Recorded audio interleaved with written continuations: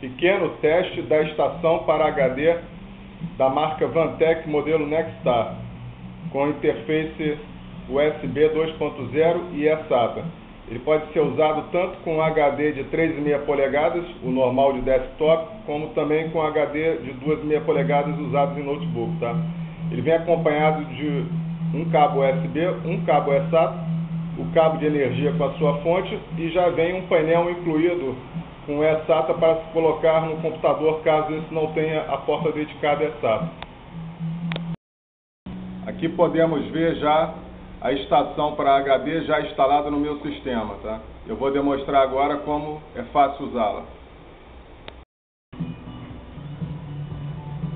A colocação do HD é muito simples, basta posicioná-lo na parte de cima, na fenda, deixar ele descer, ele vai encontrar uma pequena resistência, aí basta fazer uma pequena pressão. Ele já está instalado, tá? Agora basta ir no botão de ligar desligar e ligar o HD. No caso ele já está ligado, vocês reparem que embaixo existe um, um LED, que no caso, assim que ele começa a trabalhar, ele identifica ali. Começou a piscar, então, ou seja, já foi identificado. Aqui já vemos no, na tela do monitor que ele foi prontamente identificado, de forma fácil e rápida, tá? Agora vamos ver como é o procedimento para retirar o HD, tá? Que seria praticamente o inverso do que a gente fez. Começa por desligar no botão liga-desliga. Ele foi desligado. Agora existe um botão aqui na lateral que quando você insere o HD, esse botão fica proeminente. Então basta que a gente faça pressão nesse botão, com cuidado, segurando o HD para que ele não seja ejetado de forma brusca. E pronto, o HD já foi ejetado de forma fácil e tranquila.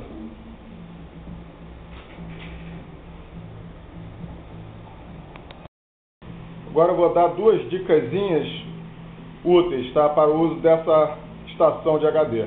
No caso do HD, a melhor forma de se guardar o HD é, no caso, protegido da poeira. E se você for colocar em algum armário sujeito à vibração, seria interessante colocar uma placa dessa de erva grossa para evitar vibração.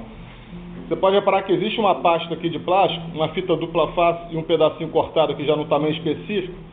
Que isso aqui foi o seguinte: você repara que existe uma fenda aqui na parte da lingueta superior que é para o HD de 2,5 polegadas.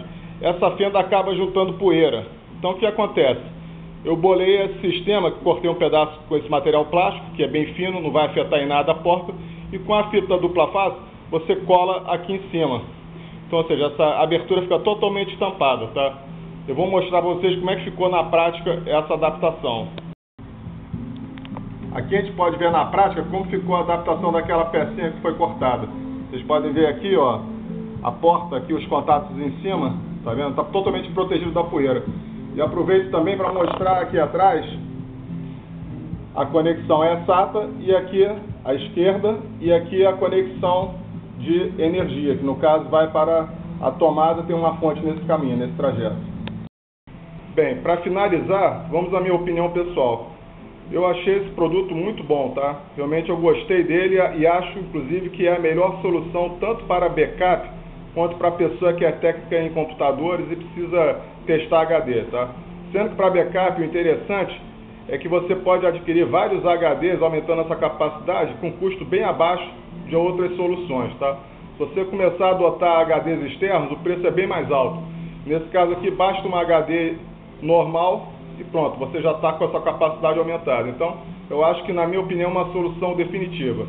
No caso, eu comprei essa estação naquela loja Wax, foi na faixa de 170 e poucos reais, se não me engano, tá? Então, ou seja, é um produto totalmente aprovado na minha concepção, tá?